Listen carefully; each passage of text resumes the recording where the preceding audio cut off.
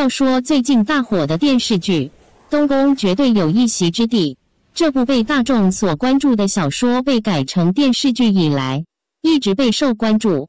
该剧是改编自匪我思存的同名小说，讲述了本是西凉国的九公主，因为和亲踏上了中原之路，与当今的太子之间发生的感情纠葛。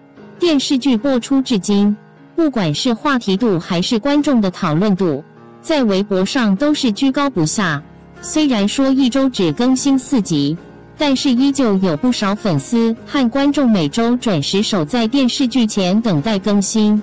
在最近的剧情中，小峰再次穿上红衣出现在李成银的面前。虽说李成银和小峰都因为跳下忘川丢失了记忆，但是身穿红衣的小峰出现在李成银面前的时候，还是不免让李成银看呆。这部剧虽然是改编的小说。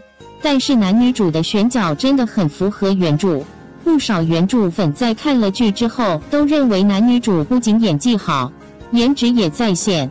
李成银的扮演者叫做陈星旭，虽然出道比较早，但是一直没有大火。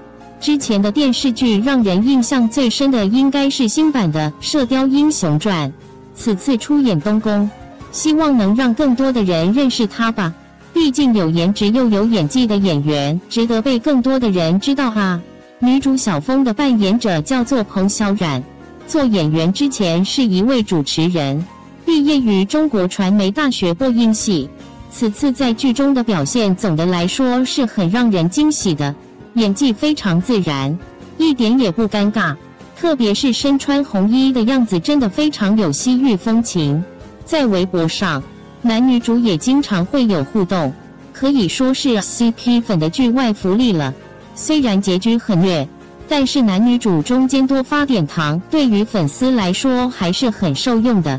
你觉得东宫的男女主在剧中的表现怎么样呢？